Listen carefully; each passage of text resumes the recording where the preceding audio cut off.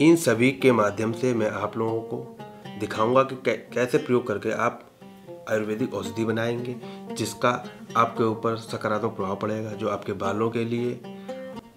प्रिय मित्रों, नमस्कार। मैं योगाचार अंकुर दीक्षित। आज आप लोगों के लिए एक ऐसी जड़ी बूटी लेके आया हूँ, जिसका नाम है जटामानसी जिसको आई यू सी एन ने रेड लिस्ट में डाल दिया है। रेड लिस्ट का मतलब होता है ऐसी प्रजाति जो विलुप्त होने के का पर होती है। इसको इंग्लिश में स्पाइक नाट कहते हैं। इस जड़ी बूटी के औषधीय गुण बहुत ही लाभकारी और रामबाण वाले हैं। आज आप देख रहे होंगे इतनी व्यस्त जीवन शैली में महिलाओं और पुरुषों को अनिद्रा, थकान, चिंता, अवसाद जैसी समस्याएँ हो रही हैं, जिनके कारण वह लोग उदास होकर के सुसाइड तक कर रहे हैं, आत्महत्या तक कर रहे हैं।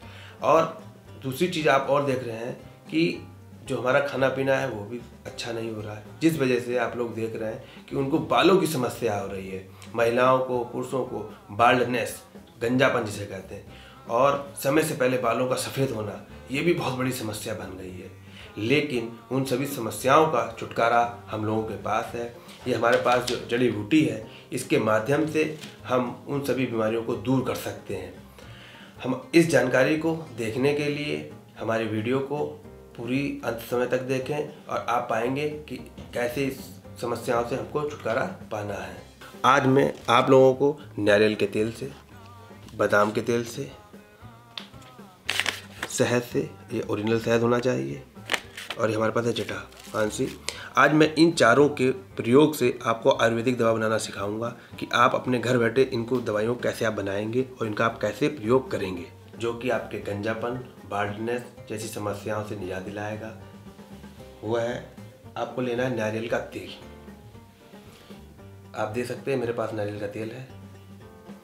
इस नारियल के तेल में क्या करना है आपको? ये जटा मानसी की जो रूट्स हैं, ये आपके बाल देख रहे होंगे आप। इसको लेकर के इस तेल के अंदर आपको ऐसे डाल दें देख रहे हैं कि नारियल के तेल में, मैंने जटा मानसी मिलाई, इसमें और थोड़ी जटा मानसी में मिला रहा हूँ। और इस जटा मानसी और नारियल के तेल को आपको हल्की आँच पर रखना है और उसके बाद इसको गैस से उतार करके रख देना है चौबीस घंटे के लिए। इसके जो भी गुण हैं, वो इस तेल में आ जाएँगे और इसको आप प्रयोग करेंगे। ये आपको याद रखना है, इस तेल को ज़्यादा देर गर्म नहीं करना है। अगर ज़्यादा तेल को गर्म करेंगे तो तेल की जो प्रॉपर्टी वो ख़त्म हो जाएगी और उसका जो लाभ है, वो नहीं मिलेगा। आपको नारियल तेल के साथ साथ आप बादाम के तेल के साथ भी इसका प्रयोग कर सकते हैं। बिल्कुल सेम इसी तरीके से इसमें प्रयोग करना है। आप तिल के तेल के साथ भी इस विधि को प्रयोग कर सकते हैं। ये आपको तीनों तेल की जो विधियाँ हैं, बहुत ही लाभकारी रहेंगी। अब बात करते हैं इसकी प्रॉपर्टीज़ यानी गुणों की। इसमें कई प्रकार के गुण होते हैं। पहला गुण है एंटी माइक्रोबियल यानी कि जो हमारे स्पोर्ट्स में जो छोटे छोटे माइक्रो ऑर्गेनिज्म होते हैं, जो हमको नुकसान पहुँचाते हैं, जिसके कारण हमारे बाल गिर जाते हैं, उनको ये स्लो करता है, उनको ये ख़त्म करने का काम करता है। दूसरा होता है एंटी फंगल आपके बालों में रूसी या डेंड्रफ होना, या आपने देखा होगा बाल सिर में आपका दाद जैसा बन जाता है, जिसके कारण आपके बाल गिरते हैं, ये उसको भी ख़त्म करता है। तीसरा है हाइपोटेंसिव यानी कि जो लो ब्लड प्रेशर है, उस लो लो ब्लड प्रेशर को कंट्रोल करना, उसको मैनेज करना, इसका काम होता है।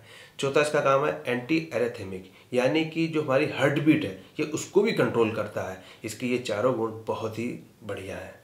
दोस्तों, आप लोग हमारी इस वीडियो को देख करके ये कमेंट बॉक्स में ज़रूर बताएँ, हमारी वीडियो आपको कैसी लगी, आपको क्या क्या इसमें जानकारी मिली। अगर आपको और भी कोई जानकारी चाहिए इससे रिलेटेड तो आप हमसे परामर्श कर सकते हैं कॉन्टेक्ट कर सकते हैं। आज की वीडियो के लिए धन्यवाद। आपका दिन शुभ हो, मंगलमय हो। और ये सभी जो भी क्रियाएँ हैं, ये किसी कुशल आयुर्वेदाचार, वैद्य या योगाचार के सानिध्य में ही करना।